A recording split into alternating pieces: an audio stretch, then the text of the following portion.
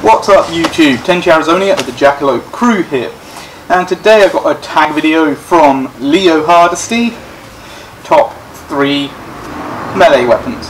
So let's begin. First off, we have Escrima Sticks. Pretty agile. Not so much in my right hand, but yeah. I'm left-handed, so what do you expect? Lightweight and strong. Capable of delivering sturdy impact. And more importantly, cheap. So that's my first choice.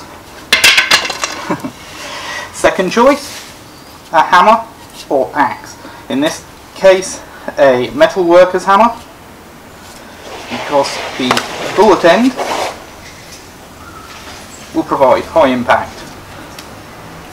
Again, lightweight and agile. And then finally, we have my SCHF 52. Not really designed for the purpose of this video, but it's what I have, so that's what I choose.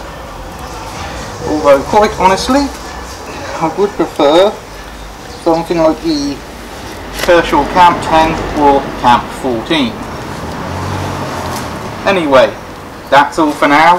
If you like it, like it, please subscribe. And remember, be good to each other.